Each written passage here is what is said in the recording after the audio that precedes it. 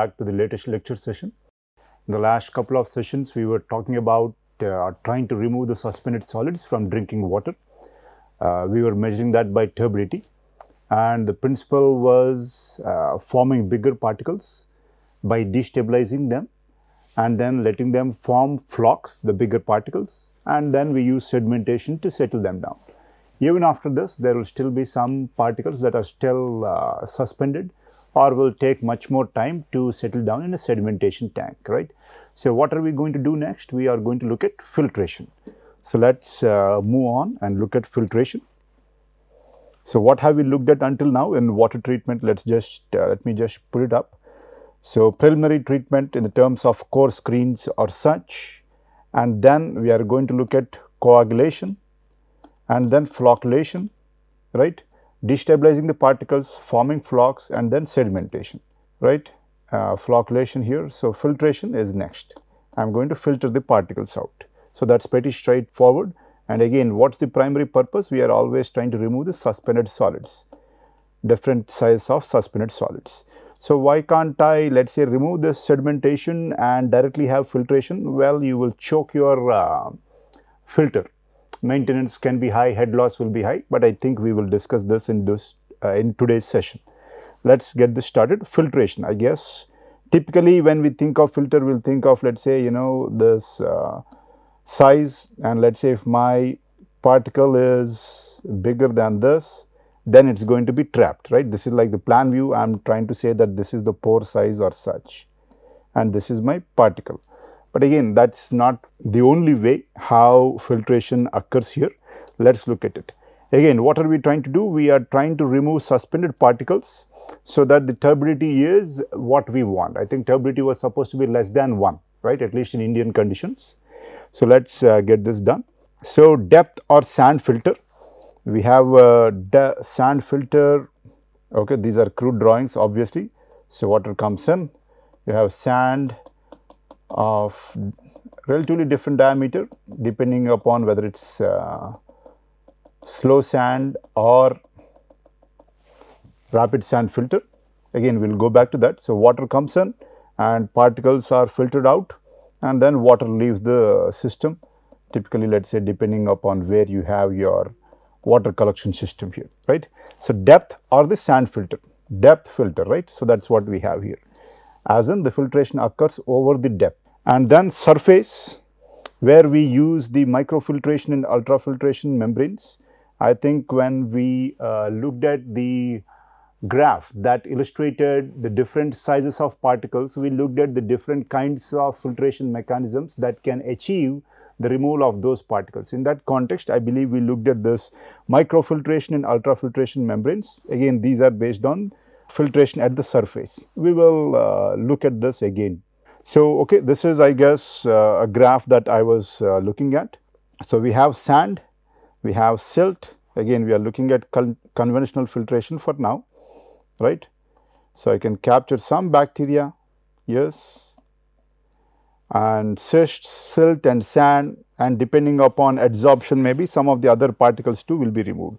For example, NOM adsorbed onto sand or such or let us say at least some particles of clay can be removed. But again you understand the size in general though, but depending upon the type of filtration you will be able to achieve what do we say until 0.1, but usually just above 1 that is a good enough cutoff for conventional filtration right. 1 micrometer is the typical cutoff though you will have some removal between 0.1 and 1, removal of particles between 0.1 and 1. In general, uh, you can think of 1 as a cutoff let us say and 1 micrometer size particles are usually the hardest to remove by conventional filtration. We will uh, look at this or come back to this aspect. And now as you see if I want to remove smaller particles, I need to look at microfiltration or ultrafiltration and this is what we talked about or, or when we say surface filtration let us say right. When we say surface filtration it is based on the type of or the mechanism. So, you have a membrane and most of the filtration occurs on surface or you know pores more or less which are not uh, very deep let us say right. Uh, but with respect to the filtration using sand the filtration occurs across the depth. So, that is why we say or the depth of the sand that is why we say it is depth filtration right. So, that is something to uh, keep in mind. Let us move on now. So, filtration mechanism, right? Typically, as we mentioned, uh, you know, one can think of it as if it's straining, right? My pore size is uh, this big and my particle is this big and so the particle will not fit through the pore size and it will obviously be filtered out. So, that is straining. So, that is but one mechanism of how uh, particles are removed. We look at the different mechanism. So, depth filtration mechanism, okay. As can be seen, we are going to look at adsorption, right, adsorption onto the media and adsorption contact mechanisms. It can be by interception. Colloid hits the media due to motion of water. Let us say my particle is out here and it's the water particle is flowing near the relevant media.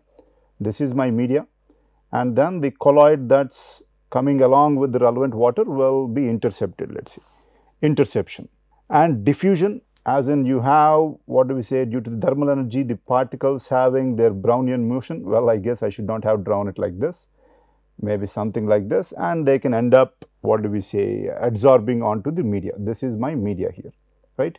And this is how my particle can also be adsorbed onto the media. And sedimentation as in if the particle is going through in this way, but because of the weight of the colloid or the relevant particle, it is going to come in like this and it is going to have uh, or it is going to undergo sedimentation let us say due to gravitational settling right. So, sedimentation also can occur, but this is within the uh, what do we say uh, filter right. So, interception, diffusion and sedimentation.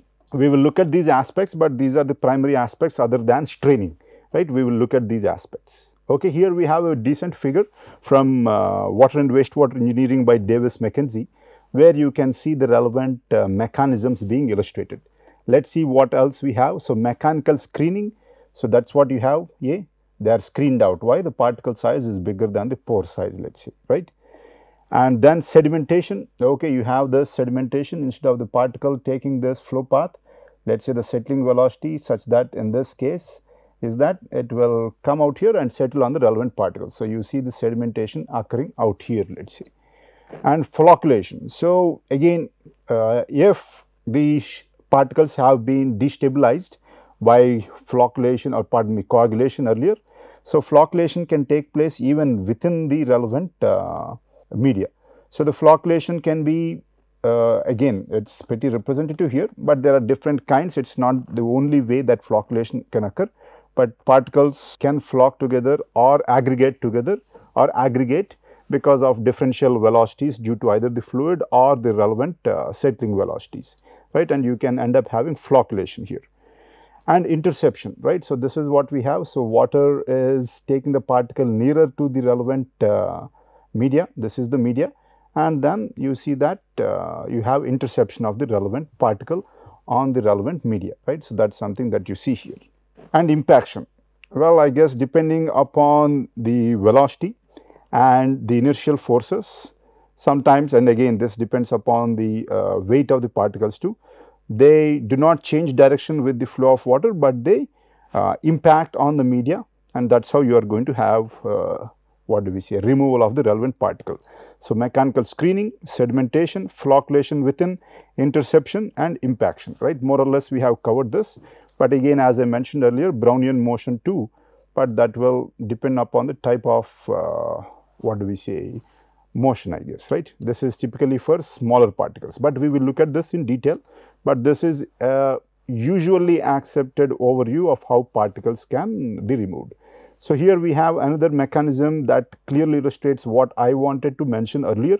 This is from Crittenden et al. So, what do we have here? You have the particle trajectory and the streamline here, right. So, what do I have here? This is the one with respect to Brownian motion as you can see. Particles always, I mean typically smaller particles anyway in the context of filtration, uh, you are going to have Brownian uh, motion diffusion. So, you know in this random motion the particles will come and uh, what do we say be absorbed by uh, the relevant media. This is the media obviously right and what else. So, again interception I guess in a way. So, the water is taking the particle near the relevant media and then it is intercepted. The other one is settling rather than going out not going out.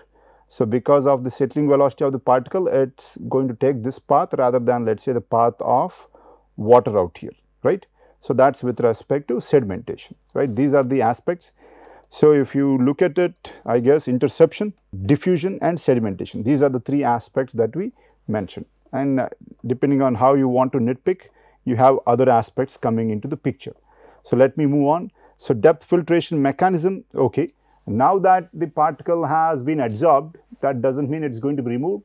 Some of these collisions are not going to lead to or not uh, collisions, interactions let us say, right, are not going to lead to removal. So, what am I concerned with? I am concerned with the effectiveness of the contact between the media and the relevant particle.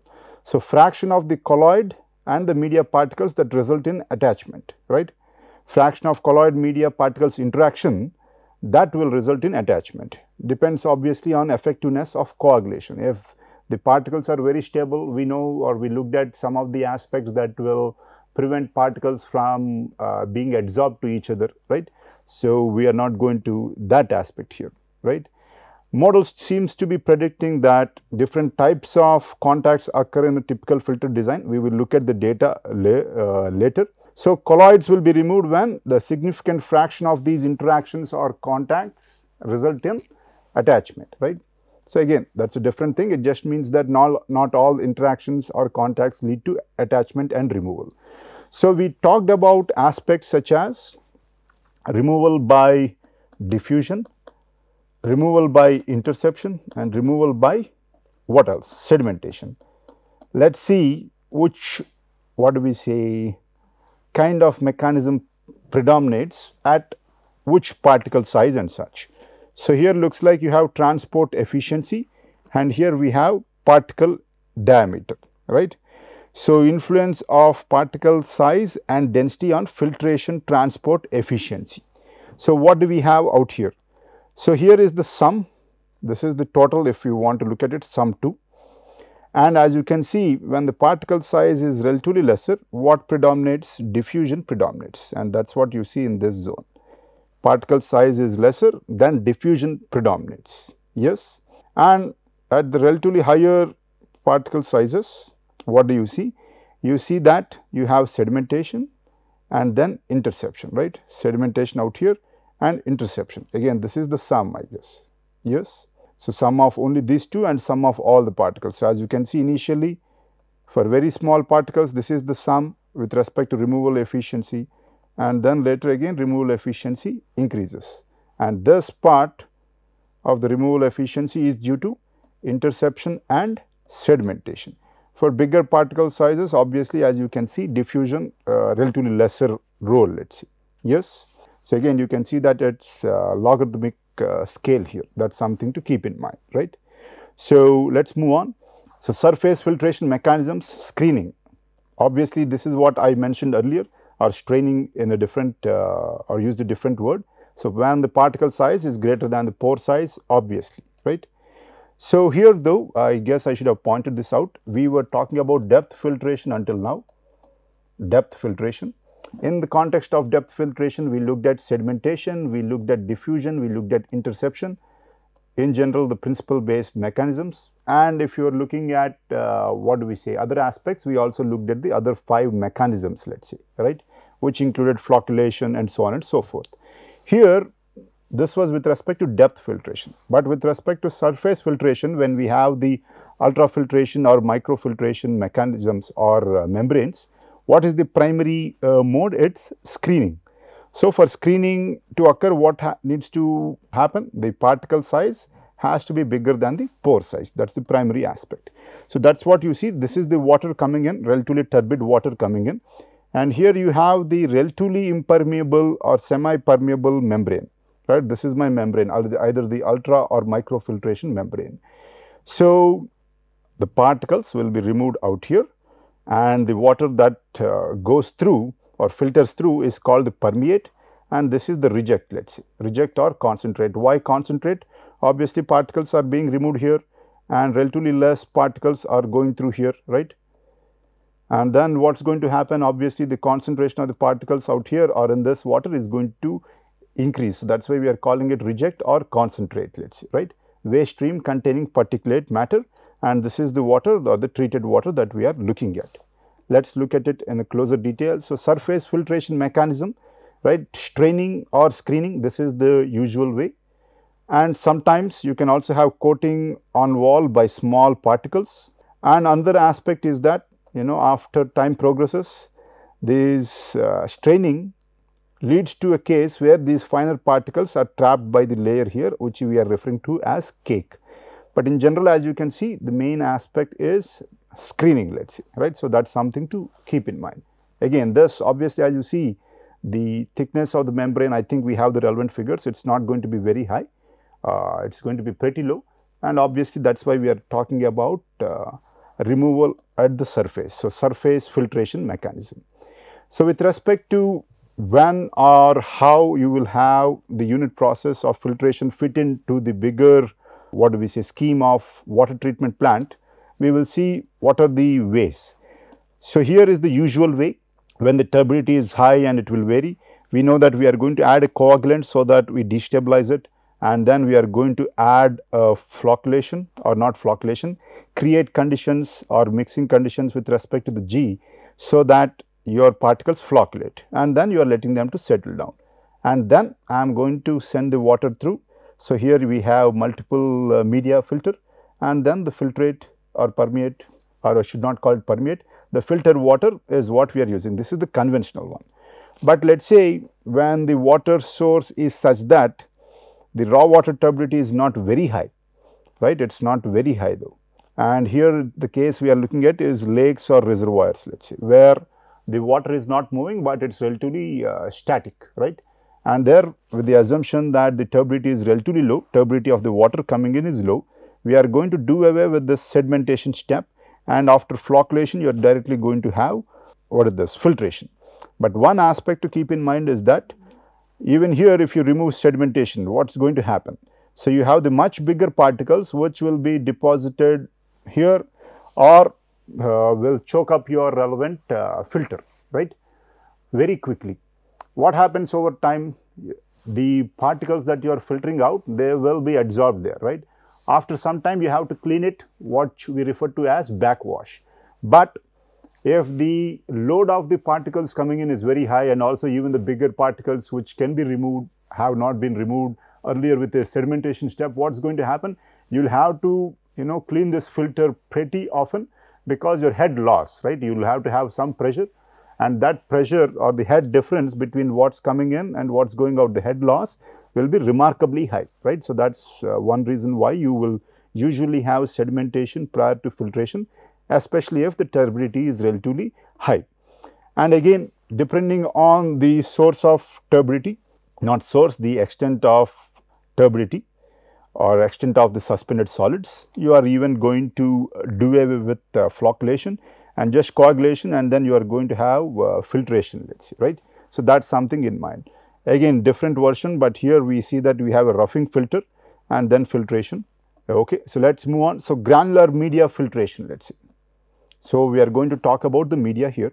So, granular media we have the sand typically sand and then underlying layer of gravel right you can't have only sand and you have the water coming in or this is the standing water you can see the water coming in I guess and uh, the head of water over the filter this is what you see and then you see that the water will filter through it and come out out here let us say right will come out out here right. So, you have the filtered media and you have the under drains. Here this is called uh, this kind of system typically will be a slow sand filter because we are talking about what I always find difficult to pronounce Schmutzke I guess right again you understand what I am referring to. What happens is over time this particular layer will be formed at the top of the sand layer okay. So, here what is happening you have water with high organic content either natural or due to uh, human origins organic content let us say organic matter. Whenever there is organic matter you know that the microbes want to grow. So, you will have this mixture of microbes organic content and this cake being called which you are going to refer as Schmutzke I guess. So, you will even have degradation of some of the organics and you will have removal by straining. In this kind of slow sand filter, mostly the removal is by straining at the top layer and not by removal across the uh, depth of the sand layer. But again, uh, keep in mind that that is probably one of the reasons why you it will be a slow sand filter where the rate of filtration is going to be relatively low and also that is why rarely do people use slow sand filters, right. But again, you will have uh, removal across the depth, but usually it is morely on the top, right by straining. And how is it that people clean it? People clean it by either replacing or scraping off this layer from time to time, right. So, that is something to keep in mind, but again very rarely used. The MIT courseware says 50 out of 50,000, what do we say, filtration units in the US or such are slow sand filters. So, that is something to keep in mind. But again, what is the principle here? You have media and then you are going to have uh, a layer developing over the top due to the screening action and this layer will also have microbes uh, developing there. So, different kinds obviously I think this is more or less okay you can even have slow sand filters like this, but again we are moving into the zone of rapid sand filters and such. So, this is a what do we say picture that will give us an idea about what we are looking at. So, water coming in and you see the gully or gullet I guess. I think T is silent. Yes. And you have next the filter media. You have the filter media here right? And then the graded gravel. And after this the water has to be or treated water has to be collected and that is done through these under drain blocks. That is what you see out here. And that water obviously flows out through this main. Yes? And that is the main aspect I guess. These are the main aspects we have covered. But over time let us say your uh, head loss across the filter is going to decrease not decrease increase. So, you have particles uh, taking up the pore spaces. The pore size decreases. So, over time a lot of head is required to take the water through. And if it is pressured uh, filter or pressured filtration let us say much more pressure is required right. So, think of this you know water has to flow through this filter. So, you know you can think of energy being lost or more energy being required. So, head lost right head is being lost. So, what do we do people see to it that they backwash it they pump water in the reverse direction backwash right and then you are going to see to it that this particular filter is suspended and then you are going to pump water out until these adsorbed uh, what do we say particles are going to be removed and your uh, filter media is relatively clean. So, that is what you see and once you do that you have these wash troughs right. So, this is where the wastewater will be uh, collected let us say right because earlier this is the filter but after you pump water in the reverse direction the bed is going to expand yes and then this wastewater is going to be not wastewater the high turbidity water because you are washing your filter is going to be collected in this wash troughs. I think we have a better picture here. Okay, this is what you have uh, actual one. So, you have the filter box mentioned out here, this is the gully and this is the filter cell right. I think uh, you can see the filter cell out here and the filter bed and I guess the gully too yes and then backwash troughs when it is pumped up this will expand right you can see that it is expanded or the bed is expanding now earlier water is coming in this direction. Bed is in this thickness. During backwash I am pumping it up. So bed is going to expand right? And then that water during backwash will go through this backwash troughs right? So that's something that you can see. We'll come back to more pictures later. So we were talking about uh, sand or the media. And in general in your uh, slow sand filters you will use or can use naturally occurring sand and in the rapid sand filters or such where the rate of filtration is going to be relatively higher you will typically use process filter sand. And what's the aspect that you can notice? You can see that naturally occurs, occurring sand. Again keep in mind this y axis where you have the particle diameter is at logarithmic scale. And you see that the particle diameter what do we say ranges over a considerable or includes a different range of or variable considerable range of uh, particle diameters naturally occurring sand. But processed and filtered sand you see that it is relatively more uniform yes that is something that you can see right that is something to keep in mind. And also here I guess it is percentage of media with smaller diameter here it is relatively less and here I guess the range is relatively more with respect to process sand filter, right. That is something to uh, keep in mind or relatively uniform too, but it depends I guess. Okay, so again different uh, pictures out here. This is something that we already looked at wash troughs, inlet main and I guess you see this filter sand, graded gravel, filter sand graded gravel and then perforated pipes because the water will then pass through these perforated pipes and go through the outlet. During backwash obviously in the reverse direction and this is going to lead to an expansion in your filter bed and then that water will be removed through these wash troughs. And here at the bottom what do we see? Here we had perforated pipes, you can also had, have vitrified clay blocks. So, this is what they look like gravel placed on top of block and here you see the uh, vitrified uh, blocks through which your water is going to be collected here. And here I guess you have something called an IMS cap, right, integrated media system if I am not wrong. So, here you see during filtration the water will flow this way and then this way, right. And then this collected water, this is the side view, right, or this is the section. So, it will be collected here. During the backwash though, I am going to pump the water into this and then it is going to clean this and move up through here let us see right. So, that is what happens again different kinds of uh, what do we say uh, water collection mechanisms here right perforated pipe, vitrified clay block and then the IMS cap let us see right. Okay, filtration cycle how is it that you know filtration is going to occur let us just look at that. So, first I have to initiate operation because the filter is clean there is nothing out there that will block the or relatively less out there that will block my uh, uh, particles or rather water. So, there will be relatively less head loss let us see low head loss and during this time filter will start to ripen. Why do we say ripen? We have a figure later in general fruit raw and ripe fruit right. So, ripe fruit is what you would prefer. We will also see why filter ripening is what you want. I think looking at the figure will help or understand this. So, this will lead to increase in or during this time the performance efficiency of the filter will increase. Why is that? Uh, you have the particles coming in with the water, they are going to take up the pore sizes, right, or pore spaces, pardon me, and then you can have either flocculation or the pore sizes getting smaller. So, that will lead to in effect relatively better filtration, right. So, filter ripening. So, continue operation after filter ripening you will continue operation, but for how long will you continue this operation?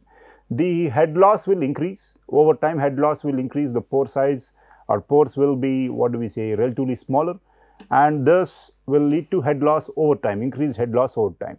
And also second thing is over time the performance efficiency of your filter will also decrease.